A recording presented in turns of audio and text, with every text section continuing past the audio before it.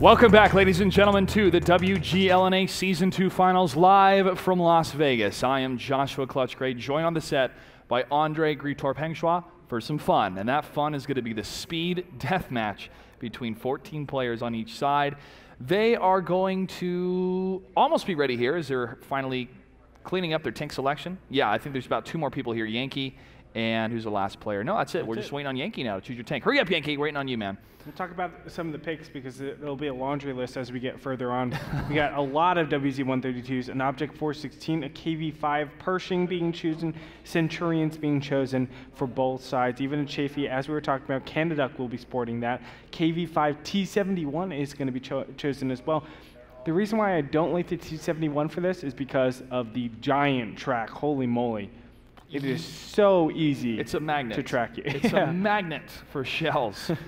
and it's time, ladies and gentlemen, it to is. jump into the death match between these players. It's going to be on Cliff, which is going to allow a lot of room for firing and for tanks in an uncontrollable, uh, momentous forward movement. And I, I, honestly want to see some of these tanks get hit and slow down just as they're turning because they're just going to continue to turn in a circle. I think it's going to be very funny. If I were doing I'd just double R and just press left and right, and that's it. Don't even bother doing anything else, that's and it. just hope for the best. That's Don't it. slow down. Slowing down is the worst. No, that would be very, very, very bad. All right. And here we go, ladies and gentlemen. It's time for the death race. And to the right. south side, we, we can only see about seven players from the tab menu here. But I'm going to follow the top side. We're going to name this Team Struggle Bus for the blue team. Okay. And what's the name of the red team? Um, uh, tight Pants. Tight Pants. Red team's Team Tight Pants. Blue team will be Team Oh no. Zazie! What have you done? Zazie's done. He's out. Well, he's he not out. He can move. All he has to do is press right or left, and he can get out of there. Mistakes tough, were made, though. That's for sure. I think he's AFK. you think he alt-tabbed. All right, I'm to try to jump over to Canada here.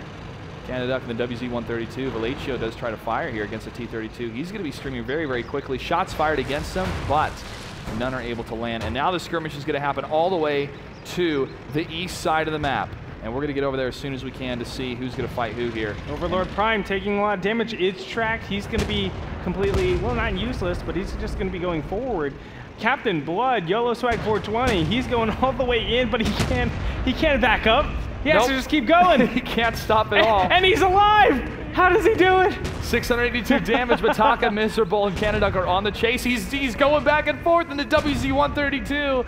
That traverse on that tank is keeping him alive, and Trireme's trying to help him in the T-32. Captain Blood takes another hit from Vallejo, uh, and he falls. He's only Neo for so long.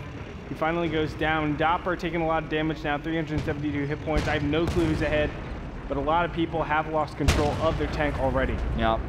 Dopper and J Smooth have now fallen below five kilometers an hour, and they're going to be. So is Dopper. Look at him. He's going around in circles. Dopper is out. Silent Demise falls to Moadib. Hashtag moddable. Executus in the WZ-132 is on a continual uh, momentous hit here. I don't think he can stop either. Trireme, of the T-32 is down to 31 HP. Can't tell who's victorious yet, but I do see a lot of red on the field here for Team Tight Pants? I, I, I don't even know what to say. Centurion is uh, still alive. He's able to move a little bit here and there, but will he be tracked? KV5 still alive and kicking. Who would have thought? But his his uh, turret speed isn't going to be, well, maybe Waffles. Ammo racked by Waffles. Sorry, buddy. Waffles is out. Rella on the chase, uh, getting chased from the Centurion Independent. Tries to line up another shot here for the kill. Does he get it? Independent has to keep moving along with Rella.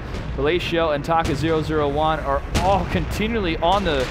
Oh no, Vallejo fell from the cliff and he went to a complete stop. Now he cannot stop at all. He's going to lose control of his tank.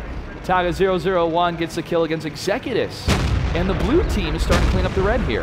Yeah, things are uh, things are looking good, but Canada, I do believe, has lost control but it looks like two red players on the field, GQ and a Centurion. And he's about to run it. No, he's about to run into death. Moadib, can he do it? Pershing alone? I don't think so. There's too many people still alive, and there it is. Red base is under attack. Is there anybody else still alive? I don't no. think it is. That's it, ladies and gentlemen. Team Struggle Bus gets the victory on the death match. A lot of firing back and forth, but those WZ-132s, man, those were the tanks to pick. Continually moving and dodging back and forth. Honorable mention, though, to Captain Blood for how long he lived, man. He That dodged so many shots. That is so definitely many insane. shots there. And there's laps going nuts for Team Struggle Bus. He mad. Nice he's- poses he's from something. laps. That's nice poses from laps. Good job to everybody. Good job, everyone. It was a lot of fun. Uh, I- big thanks to Junior for putting that together. Yep. He coded that. It took him like 30 hours to do it. wow. I don't know. 30 hours. Let's just say it's 30 hours. Worth it. Worth it. Totally worth it as people were able to lose control of their tanks. That was a lot of fun, ladies and gentlemen. We're going to take a break as we get the finals set up. The finals of Simp versus Fulcrum Gaming. Did people predict this? Yes. But it's still going to be an unpredictable matchup because Fulcrum has looked very, very dominant throughout the series, but they were not the top performing team. They are the champions from season one, but Simp was a team that went 7 0 in the group play. Simp showing a little bit of trouble getting here to the finals, though. We've had very convincing matches with Fulcrum Gaming, so really is anybody's game. Who's going to be the winner? Is it the consistent performers of Simp, or is it the Fulcrum Gaming, who showed a little bit of you know hesitation in the beginning of the, the group stages, but now is showing some impressive results? We're going to find out. That's right, ladies and gentlemen. Stay tuned. Tell your friends. Make sure to get on Twitter at WGLNA and at Razer to get some great gear and some great codes. And we're going to find out who is the best of the best for season two in North America after this.